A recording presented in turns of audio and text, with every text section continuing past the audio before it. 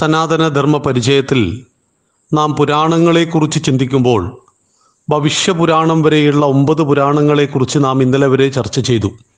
ഇന്ന് പത്താമത്തെ പുരാണം ബ്രഹ്മ വൈവർത്ത പുരാണം ബ്രഹ്മ വൈവർത്ത പുരാണം നാലു ഖണ്ഡങ്ങളിൽ വിഭക്തമായ നിലയ്ക്കാണ് ഇന്ന് ലഭിക്കുന്നത്. ബ്രഹ്മഖണ്ഡം പ്രകൃതിഖണ്ഡം ഗണപതിഖണ്ഡം ശ്രീകൃഷ്ണ ജന്മഖണ്ഡം എന്നിവയാണവ. ഇവയിലാകെ ഇരുന്നൂറ്റി എഴുപത്തി മൂന്ന് അധ്യായങ്ങളിലായി ഇരുപതിനായിരത്തിൽ പരം ശ്ലോകങ്ങളാണുള്ളത്. ഒന്നാമത്തെ ഖണ്ഡമായ ബ്രഹ്മഖണ്ഡത്തിൽ സഗുണ നിർഗുണ ബ്രഹ്മ നിരൂപണം ശ്രീകൃഷ്ണന്റെ ആജ്ഞപ്രകാരം ബ്രഹ്മാവ് ചെയ്യുന്ന തപസ് ദേവമണ്ഡലത്തിന്റെയും ഭൂമി തുടങ്ങിയ ലോകങ്ങളുടെയും സ്ഥാവര ജംഗമങ്ങളുടെയും സൃഷ്ടി തുടങ്ങിയ വിഷയങ്ങളാണുള്ളത്. രണ്ടാമത്തെ പ്രകൃതിഖണ്ഡത്തിൽ സൃഷ്ടിയുടെ ആദി കാരണം ത്രിഗുണാത്മികമായ പ്രകൃതിയാണെന്ന് നിരൂപണം ചെയ്യപ്പെട്ടിരിക്കുന്നു. പ്രകൃതി സാഖ്യന്മാർ പറയുന്നത് പോലെ ജഡമല്ല മറിച്ച് സചേതനമാണ്. പ്രകൃതിയാണ് ആദിശക്തി എന്ന് കീർത്തിക്കപ്പെട്ടിരിക്കുന്നത്. ശ്രീകൃഷ്ണനെ സൃഷ്ടിക്കാനായി ഇച്ഛിച്ചുകൊണ്ട് ആദിശക്തി ആവിർഭവിക്കുന്നു.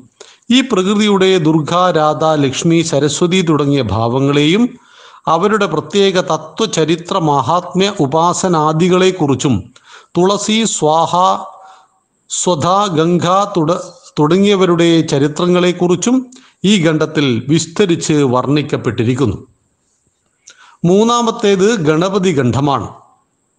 ഇതിൽ സർവത്ര പൂജിക്കപ്പെടുന്ന പ്രധാന ദേവതയായ ഗണേശന്റെ ചരിത്രം വർണിക്കപ്പെട്ടിരിക്കുന്നു. ഗണേശ ചരിത്രത്തെ സംബന്ധിക്കുന്ന കഥ നാരദ നാരായണ സംവാദ രൂപത്തിലാണ് അവിടെ വിവരിക്കപ്പെട്ടിരിക്കുന്നത്. ഗണപതി ഗണ്ഠം എന്ന് പ്രസിദ്ധമായ ഇതിൽ ശിവപുത്രന്മാരായ ഗണപതിയെയും സ്കന്ദന്റെയും ചരിത്രം വർണിക്കപ്പെട്ടിരിക്കുന്നു. നാലാം ഖണ്ഡം ശ്രീകൃഷ്ണ ജന്മഗണ്ഠമാണ് ഇതാണ് നാലിൽ വെച്ച് ഏറ്റവും വലിയത്. ഇതിൽ ശ്രീകൃഷ്ണന്റെ ജന്മവൃത്താന്തങ്ങളും ചരിത്രവും വിസ്തരിക്കപ്പെട്ടിരിക്കുന്നു. ശ്രീരാധയുടെയും വിശേഷ മഹാത്മ്യവും തത്വവും ഈ ഖണ്ഡത്തിന്റെ വിഷയമാണ്. പത്താമത്തെ പുരാണം. പത്താമത്തെ പുരാണമാണ് നമ്മളിപ്പോൾ പരിചയപ്പെട്ടത്. പതിനൊന്നാമത്തെ പുരാണം ലിംഗപുരാണം. പുരാണ പ്രസിദ്ധമായ ലിംഗപുരാണത്തിൽ പതിനൊന്നായിരം ശ്ലോകങ്ങളുണ്ടെങ്കിലും ഇപ്പോൾ ലഭ്യമായ പുസ്തകത്തിൽ ഏകദേശം ഒമ്പതിനായിരം ശ്ലോകങ്ങളേ ഉള്ളൂ. പൂർവഭാഗത്തിൽ നൂറ്റിയെട്ടും ഉത്തരഭാഗത്തിൽ അമ്പത്തി അഞ്ചും അധ്യായങ്ങളിലായാണ് ഇവ നിലകൊള്ളുന്നത്. ഈ പുരാണത്തിന്റെ പൂർവഭാവത്തിൽ പ്രജാസൃഷ്ടി ലിംഗ ആവിർഭാവം യോഗ ഭക്തി നിരൂപണം ശിവന്റെ അഞ്ചു ഭാവങ്ങളുടെ മഹാത്മ്യം ശിവാർച്ചന ശിവസ്തുതി ശിവപീഠങ്ങൾ ശിവസഹസ്രനാമങ്ങൾ ശിവാദ്വൈത സ്വരൂപം ശിവ ശിവവ്രത സംബന്ധിയായ ആഖ്യാനങ്ങൾ അനേക വിധത്തിൽപ്പെട്ട ശൈവമായ അർച്ചനാ പദ്ധതികൾ സർഗ പ്രതിസർഗ വംശ മന്വന്തര വംശാനുചരിതങ്ങൾ വരാഹ സിംഹാവതാരങ്ങൾ ഹിരണ്യകശിപൂ വധം ജലന്ധര വധം ദക്ഷയംശ് ദക്ഷയജ്ഞ ധ്വംസം ദക്ഷഗർഭഭംഗം തുടങ്ങിയ ഒട്ടനവധി ശൈവ വിഷയങ്ങൾ പ്രതിപാദിക്കപ്പെട്ടിരിക്കുന്നു. ഉത്തരഭാഗത്തിൽ പാശുപതവ്രതം ശിവന്റെയും ശിവയുടെയും മുഖ്യരൂപം ശിവതത്വം തുടങ്ങിയ വിഷയങ്ങൾ കൂടാതെ ദാനവിധികൾ യോഗം യജ്ഞം തുടങ്ങിയ വിവിധ വിഷയങ്ങളും വരുന്നു. പന്ത്രണ്ടാമത്തെ പുരാണം വരാഹ പുരാണം ഇരുപത്തിനാലായിരം ശ്ലോകങ്ങൾ ഉണ്ടെന്ന് പുരാണ പ്രസിദ്ധമായ വരാഹപുരാണത്തിൽ ഇപ്പോൾ ഇരുന്നൂറ്റി പതിനെട്ട് അധ്യായങ്ങളിലായി പതിനായിരത്തോളം ശ്ലോകങ്ങളാണുള്ളത്. ഇതിൽ സർഗാദി ലക്ഷണങ്ങളെ കൂടാതെ ശ്രാദ്ധകൽപ്പം അഗ്നിചരിതം വിവിധ ദേവതകളുടെ ആവിർഭാവ മാഹാത്മ്യ ചരിത്രം വിവിധ വ്രത മഹിമകൾ ഭുവനകോശ വർണന ദേനുദാനത്തിന്റെ മഹത്വവും വിധാനവും വിവിധ പ്രായശ്ചിത്തങ്ങൾ വിവിധ തീർത്ഥ മഹാത്മ്യങ്ങൾ വിഗ്രഹ പ്രതിഷ്ഠാവിധികൾ ശുഭ അശുഭ കർമ്മ നിരൂപണം തുടങ്ങി അനേകം വിഷയങ്ങളെക്കുറിച്ചുള്ള പ്രതിപാദനം വരാഹപുരാണത്തിൽ ചെയ്തിരിക്കുന്നു. പ്രിയ സജ്ജനങ്ങളെ പുരാണങ്ങൾ എന്ന് പറയുന്നത് പോലും അതിമഹത്തായ വൈവിധ്യമാർന്ന തത്വചിന്തകളുടെ സമന്വിത രൂപമാണ്. ഓരോ പുരാണത്തിലും ഇരുപത്തയ്യായിരം അമ്പതിനായിരം മുപ്പതിനായിരം ശ്ലോകങ്ങൾ. അപ്പോൾ പതിനെട്ട് പുരാണങ്ങളിലും കൂടി എത്ര ലക്ഷക്കണക്കിന് ശ്ലോകങ്ങളാണ് ഹിന്ദുവിന്റെ ആശയങ്ങളെ പ്രതിഫലിക്കപ്പെടുന്ന ഈ പുരാണങ്ങൾ എന്ന് നാം അറിയുമ്പോൾ കൂടുതൽ മഹത്വവും അത്ഭുതവും നമുക്ക് അനുഭവപ്പെടുന്നു. പുരാണങ്ങളിൽ പതിമൂന്നാമത്തേത് സ്കന്ദപുരാണം. പുരാണങ്ങളിൽ വെച്ച് ഏറ്റവും ബൃഹത്തായതാണ് സ്കന്ദപുരാണം. ഇതിന് ഏഴ് ഖണ്ഡങ്ങളും അനേകം ഉപഖണ്ഡങ്ങളുമുണ്ട് മൊത്തം ആയിരത്തി എഴുന്നൂറ്റി മുപ്പത്തി ഒന്ന് അധ്യായങ്ങളിലായി എൺപത്തി ഒന്നായിരം ശ്ലോകങ്ങളാണ് സ്കന്ധപുരാണത്തിലുള്ളത്. ഒന്നാം ഖണ്ഡം മഹേശ്വര ഖണ്ഡമാണ് കേദാരം കൗമാരികം അരുണാചലം എന്നിവയാണ് ഇതിന്റെ മൂന്ന് ഉപഖണ്ഡങ്ങൾ ദക്ഷയജ്ഞം സതിയുടെ അഗ്നിപ്രവേശം ശിവാരാധനയുടെ ഫലങ്ങൾ സമുദ്രമഥനം. ബ്രഹ്മാവ് താരകാസുരന് വരം നൽകുന്നത്. സതിയുടെ പുനർജന്മവും ശിവനു വേണ്ടിയുള്ള തപസ്സും.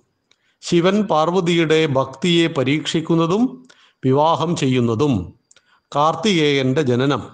താരകാസുരവധം. ബ്രഹ്മാണ്ട വിവരണം. ശിവരാത്രി വ്രതമാഹാത്മ്യം. കേദാര കാർത്തികേയ അരുണാചല മാഹാത്മ്യം തുടങ്ങിയ ഒട്ടനവധി വിഷയങ്ങൾ വരുന്നു. രണ്ടാമത്തെ ഖണ്ഡം വൈഷ്ണവ ഖണ്ഡമാണ് ഇതിന് വെങ്കടാചലം പുരുഷോത്തമം ബദരികാശ്രമം കാർത്തികം മാർഗശീർഷം ഭാഗവത മാഹാത്മ്യം വൈശാഖം അയോധ്യ വാസുദേവ മാഹാത്മ്യം എന്നിങ്ങനെ ഒമ്പത് ഉപഖണ്ഡങ്ങളുണ്ട്. വരാഹാവതാരം പത്മാവതി വൃത്താന്ത വർണനം പരീക്ഷത്തിനെ സംബന്ധിക്കുന്ന ചരിതം കൃഷ്ണതീർത്ഥം വെങ്കടാചലത്തിലെ മറ്റു തീർത്ഥസ്ഥലങ്ങൾ അഞ്ജനയുടെ തപസ് ആകാശഗംഗാ തീർത്ഥം പുരുഷോത്തമ തീർത്ഥ മാഹാത്മ്യം തുടങ്ങിയ വിഷയങ്ങൾ ഇതിൽ വരുന്നു. കൂടാതെ ബദരി മാഹാത്മ്യം കാർത്തിക മാർഗശീർഷ മാസങ്ങളുടെ മാഹാത്മ്യം വൈശാഖദാന മാഹാത്മ്യം അയോധ്യാപുരിയുടെ മാഹാത്മ്യം തുടങ്ങിയ വിഷയങ്ങളും ഇതിൽ വർണിക്കപ്പെട്ടിരിക്കുന്നു. മൂന്നാമത്തെ ഖണ്ഡം ബ്രഹ്മഖണ്ഡം. ഇതിൽ സേതു മാഹാത്മ്യം ധർമാരണ്യം ബ്രഹ്മോത്തരം എന്നീ മൂന്ന് ഉപഖണ്ഡങ്ങളുണ്ട്. രാമേശ്വരക്ക് ക്ഷേത്രമഹിമ ക്ഷേത്ര മഹിമ സേതു ബന്ധന വർണന വിവിധ തീർത്ഥ മഹിമകൾ ധർമാരണ്യ ക്ഷേത്ര മഹിമ വിവിധ തിഥി മഹിമകളും വ്രതങ്ങളും ശിവകവചം ഭസ്മമാഹാത്മ്യം രുദ്രാക്ഷ മാഹാത്മ്യം ധാർമ്മിക മൂല്യങ്ങളെക്കുറിച്ചുള്ള പ്രതിപാദനം ചാതുർമാസ്യ തപസ്സിന്റെ പ്രാധാന്യം ഷോഡശോപചാര പൂജ തുടങ്ങിയ വിഷയങ്ങൾ ഇതിൽ വരുന്നു. നാലാമത്തേത് കാശീഖണ്ഡമാണ് ഇതിന് പൂർവാർദ്ധം ഉത്തരാർദ്ധം എന്നിങ്ങനെ രണ്ടു ഭാഗങ്ങളുണ്ട്. ഇതിൽ വിന്ധ്യവർണനം അഗസ്ത്യാശ്രമം വിവിധ ലോക വർണനങ്ങൾ ധ്രുവചരിതം വിവിധ തീർത്ഥ മഹിമകൾ ധർമ്മവർണനം ഓങ്കാര മഹിമ തുടങ്ങി അനേകം വിഷയങ്ങളുണ്ട്. അഗ്നി ഗംഗ പഞ്ചനദം തപോലോകം സത്യലോകം വാരണാസി തുടങ്ങിയവയുടെ ചരിത്രങ്ങളും മഹിമാവാർന്ന വർണനകളും തുടങ്ങി ഒട്ടനവധി വിഷയങ്ങൾ ഇതിൽ വരുന്നു. അഞ്ചാമത്തേത് അവന്തിഗണ്ഠ മാഹാത്മ്യമാണ്. ഇതിന് അവന്തി ക്ഷേത്ര മാഹാത്മ്യം ചതുരശീതിലിംഗ മാഹാത്മ്യം രേവാഖണ്ഡം എന്നീ മൂന്ന് ഉപഖണ്ഡങ്ങളുണ്ട് മഹാകാലേശ്വരന്റെയും മറ്റു നിരവധി ക്ഷേത്ര തീർത്ഥങ്ങളുടെയും എൺപത്തിനാല് ശിവലിംഗങ്ങളുടെയും മഹാത്മ്യം. നർമ്മദാ നർമ്മദാവതരണവും കൂടാതെ മറ്റനേകം തീർത്ഥ മഹാത്മ്യങ്ങളും ഇതിൽ വിശദമായി പ്രതിപാദിച്ചിരിക്കുന്നു. ആറാമത്തേത് നാഗരഗണ്ഠമാണ് ഇതിൽ ഉപഖണ്ഡങ്ങളില്ല ലിംഗോൽപത്തി ത്രിശങ്കുചരിതം വൃതവധവർണനം ചമത്കാര രാജചരിതം അനേക തീർത്ഥോൽപത്തി ചരിത്രങ്ങളും മഹാത്മ്യങ്ങളും ശ്രാദ്ധവിധികൾ ഏകാദശി ചാതുർമാസ്യ വ്രതങ്ങൾ തുടങ്ങി നിരവധി വിഷയങ്ങൾ ഇതിൽ പ്രതിപാദിക്കപ്പെട്ടിരിക്കുന്നു. ഏഴാമത്തെ ഖണ്ഡം പ്രഭാസഖണ്ഡമാണ്. ഇതിൽ പ്രഭാസതീർത്ഥം വസ്ത്രപദക്ഷേത്രം അർബുദ മഹാത്മ്യം ദ്വാരകാ മഹാത്മ്യം എന്നീ നാല് ഉപഖണ്ഡങ്ങളാണുള്ളത്. പുരാണ ഉപപുരാണ വർണനം പ്രഭാസതീർത്ഥം സോമനാഥലിംഗം സിദ്ധേശ്വരലിംഗം തുടങ്ങി നിരവധി തീർത്ഥങ്ങളുടെയും ക്ഷേത്രങ്ങളുടെയും മഹാത്മ്യം തുടങ്ങിയ വിഷയങ്ങൾ ഈ സ്കന്ധ പുരാണത്തിൽ വരുന്നു. അതായത് പുരാണങ്ങളിൽ ഏറ്റവും മഹത്തായ ഏറ്റവും ബൃഹത്തായ വലിപ്പത്തിൽ ഏറ്റവും വലുതാണ് ആയിരത്തി എഴുന്നൂറ്റി മുപ്പത്തി ഒന്ന് അധ്യായങ്ങളിൽ എൺപത്തി ഒന്നായിരം ശ്ലോകങ്ങളുള്ള സ്കന്ധ പുരാണം പതിനാലാമത്തെ പുരാണമാണ് വാമന പുരാണം പൗരാണികമായി പതിനായിരം ശ്ലോകങ്ങളുള്ള വാമന പുരാണത്തിന്റെ ആറായിരത്തോളം ശ്ലോകങ്ങളോടുകൂടിയ ഒരു ഭാഗം മാത്രമേ ഇപ്പോൾ നമുക്ക് ലഭ്യമായിട്ടുള്ളൂ. ഇതിൽ തൊണ്ണൂറ്റഞ്ച് അധ്യായങ്ങളാണുള്ളത്.